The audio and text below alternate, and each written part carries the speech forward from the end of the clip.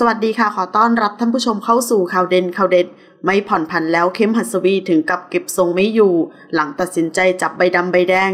เรียกได้ว่าทำเอาแฟนคลับลุ้นไปตามๆกัน เมื่อพระเอกสุดฮอตเข้มหัสวีได้เดินทางกลับบ้านเกิดที่จังหวัดบึงกาฬเพื่อตรวจคัดเลือกทหารกองเกินเข้าประจำการปี